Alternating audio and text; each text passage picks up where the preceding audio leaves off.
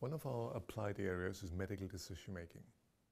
We have a new um, center here called the Harding Center for Risk Literacy that focuses on health.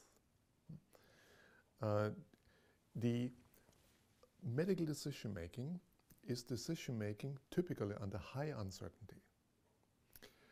And uh, here what we do is we use the results of our study of heuristics, of the ecological rationality, and design expert systems that differ from conventional expert systems, which in medicine are often logistic regressions.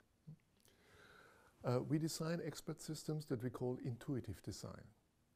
This is a, a structure, a heuristic structure that corresponds to the way doctors think. And doctors don't think in weighing terms of weighing and adding. That's a logistic regression. One of the first influences we had uh, on uh, the medical community, they used the structure of Take the Best and designed a tree for heart attack prediction. And the interesting thing is that simplicity in these trees huh, often leads to more accurate predictions of heart attacks than, say, a logistic regression. Why is this the case? Now, um, an, a traditional expert system in medicine, like a logistic regression system, is maybe uh, validated in a group of patients in Boston. But the entire purpose is to use it elsewhere and not to start again. But using it elsewhere is a situation which is in statistical terms not just out of sample prediction but out of population prediction. By definition, you know nothing about this other population and how this relates to this yeah, diagnostic system you develop. In this situation, we need to look for robust systems, not for optimal systems. Because optimization is by definition out of reach. And uh, simplicity, as it's realized in fast and frugal trees or take the best, is one means to get these robust systems. Here's an example.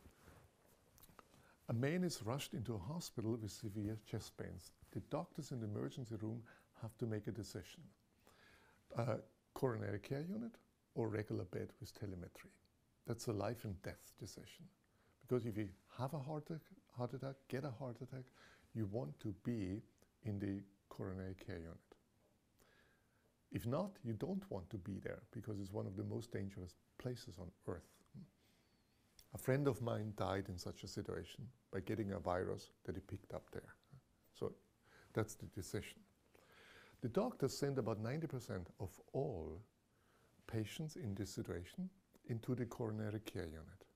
This is called defensive decision making because a doctor in the US is likely to be sued if, the, if he sends a person into the regular bed with telemetry and the person dies of a heart attack.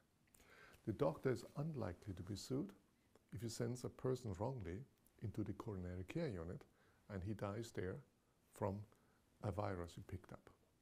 So that's called defensive decision making. The doctors protect themselves. Result of defensive decision making is that the costs go up, quality go down, and danger is there for a patient. Then they called in a team from the University of Michigan, and they did the usual complex problem, complex solution. This was called the heart disease predictive instrument. It's a, um, you get a, um, a, ch a, chart with some 50 probabilities and a pocket calculator in which a logistic regression is programmed. And then here's the patient, and you push in the right probabilities, and then you push enter, and you see a number. If it's above, above a threshold, then coronary care unit, otherwise regular bed.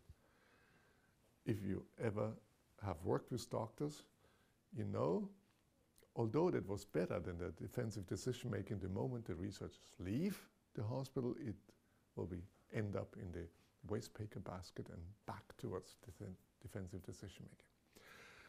At this point, the PI of this study contacted me and he had heard of our research on heuristics and they found a, a third way to deal with this problem besides defensive decision making, logistic regression, and constructed a, uh, coronary care unit uh, heuristic. That basically asks three questions. Whether there is a uh, anomaly in the ST segment in the electrocardiogram. If yes, that's the end, coronary care unit. If no, second question, are chest pain the primary complaints? If no, regular bed. Otherwise, a third question is being asked as Max.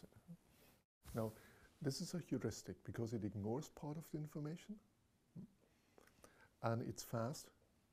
It can be applied much faster in this emergency. It's also frugal because it doesn't use all the information. And it's transparent. Doctors understand it. The typical doctor's reaction is, oh, that's the way I should do it. Doctors love rules. And that's how they're trained. And the crucial question is, how accurate is it in predicting actual heart attacks? And the study that was done is shows that the simple heuristic uh, makes more accurate predictions as the uh, logistic regression system. And here's the puzzling thing. So why is it that we can make better decisions under uncertainty than the standard statistical tools? And when is this not the case? And that's again the question of ecological rationality. But what this example shows, and what we have achieved, I think, is we have made many people in practical situations think about, yeah? is that really the best thing I can do, what I do? Wouldn't there be a simpler solution that actually can be better implemented? In the case of the doctors, it's very clear. And in this hospital, this is now more than 10 years ago, and the doctors still use the heuristic. They have adopted it to, can much more easier adopt a, uh, uh, this, what we call a fast and frugal tree, than a logistic regression, at least for doctors. And, and they have understood hmm, that there are robust and simple and very effective uh, ways to make decisions.